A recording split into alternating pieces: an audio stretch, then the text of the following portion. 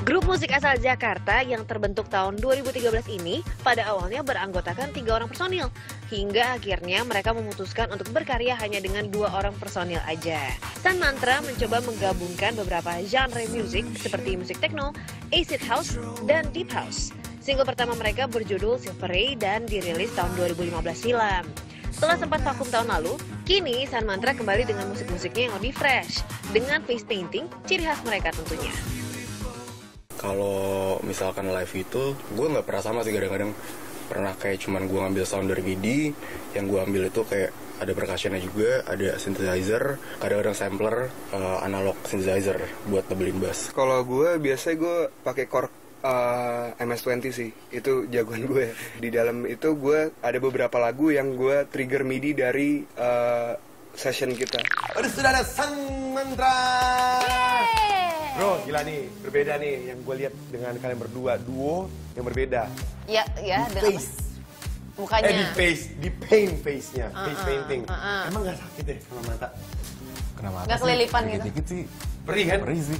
tuh ini Oh, kalian iya. setiap kali main memang paintnya itu di face dengan warna putih atau dengan warna Warna-warni. Warna-warni bebas Warna-warni sih sih, ya. tergantung. Ganti-ganti. ha. tergantung dari acaranya juga oh Oke, terus kalian sendiri ini Sun Mantra ini genrenya apa sih?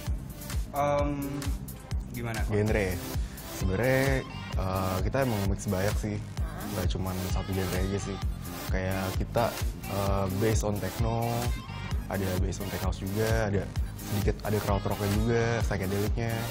jadi agak mix lah Iya. semuanya gitu dan kayak em, tapi base yang ininya rootsnya tuh sih Eh, by the way ini kan underground dance music nih belum semua orang lah gitu nge sama musik kalian kan. Itu gimana caranya bisa dapet eh, perhatian gitu dari publik tuh gimana?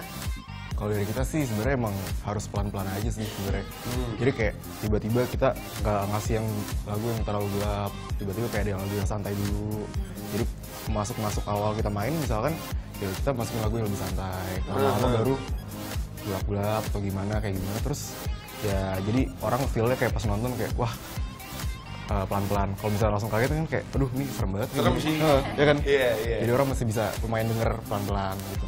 Udah berapa lagu nih yang kalian bikin? Eh, sekarang kita remix ongoing nih sekarang remix lagu-lagu orang kemarin udah sempet ada yang dirilis Eh, selanjutnya sih lagi lagi mau bikin EP sih EP sama album Eh, ngomong-ngomong ini kan uh, Sun Mantra ini kan unik kan dengan face paintingnya tadi Marcel juga udah bilang. Nah, ini tuh sebenarnya banyak juga loh DJ-DJ yang punya performance-nya yang unik juga kayak Sun Mantra. masa sih Nah, nggak percaya? nggak percaya aku Ini ada Miss Jul. Coba kita lihat. Killer, saatnya info barengan sama Miss Jul. Dan sekarang ini infonya itu seputar DJ yang punya karakter unik atau nyeleneh kalau lagi manggung. Yang pertama, Daft Punk. Ada yang nggak tahu sama duo elektronik ini yang selalu kalau lagi manggung itu ciri khasnya adalah pakai helm ya. Dan ternyata mereka ini pakai helm itu untuk menyembunyikan identitas mereka supaya bisa menjaga kehidupan pribadi mereka kalau lagi nggak manggung. Ya mungkin kalau nggak laku jadi DJ, setelah itu dia bisa jadi ojek online kali ya, Cuber. Lanjut lagi, ini selain Daft Punk, ada juga DJ yaitu Zep. Nah, duo asal Swedia ini selalu tampil dengan kostum berupa kaset raksasa dengan LED stickers. Ide ini justru muncul dari Snack Manager yang terinspirasi katanya yang dari DJ pertama tadi yaitu Daft Punk. Nah, Kezat sendiri ngaku nih sanggup memakai kostum ini 30 menit saja karena sangat panas di dalamnya ya. Yang ketiga itu ada Dead Mouse dan kalau kamu pernah lihat nih Dead Mouse kalau perform, jadi Cubers dia ini selalu memakai topeng tikus gitu dan ternyata inspirasinya gara-gara pernah menemukan seekor tikus mati di komputernya. Wow. Nah, Cubers yang terakhir ini tidak lain tidak bukan adalah Marshmallow. Hampir sama dengan DJ-DJ sebelumnya, Marshmallow ini juga menggunakan topeng yang berwarna putih dengan bentuk bibir tersenyum sebagai identitasnya. Bahkan kemarin tuh sempat ada beberapa DJ-DJ juga yang ikutan ya, jadi sebagai kostum Halloween. Dan penampilan tersebut berhasil menarik perhatian publik dan membuat banyak orang yang bingung dan menebak-nebak siapakah yang ada di balik topeng itu. Oke, Qbert, itu dia tadi infonya barengan sama Miss Ju. Wow, Wah, terima kasih. banyak ya yang paling lagi happening marshmallow memang. Oke Cuber, sebelum kita lihat performance dari San Mantra dan kita juga udah harus pamit, kita mau kasih challenge dulu. Apa sel challenge-nya? Eh, jangan lupa hadiahnya apa? Hadiahnya iPhone 6. Six. Dan challenge-nya gampang sekali. Kalian tinggal bikin video berdurasi 30 second dan upload nanti ke Instagram. Apa isi videonya? Kalian harus dance ala Rocket Crew. Jadi hip hop dance. Hmm, gampang banget. Dan Bisa, bisa? Eh, 6. Kita kasih tau dulu pemenang challenge-nya. Ah, iya. Ini dia. Ya, di sinilah pokoknya.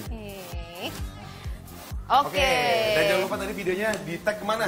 Ke at cubicle underscore ID dan at netmediatama pakai hashtag. Hashtagnya Cubicle dan Cube Challenge. Ya, betul. Oke, kalau iPhone gitu 6 ya ingat ya pemenangnya yang mendapatkan iPhone 6.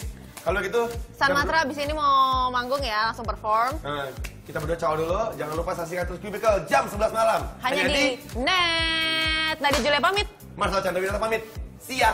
Langsung aja kita lihat San Mantra.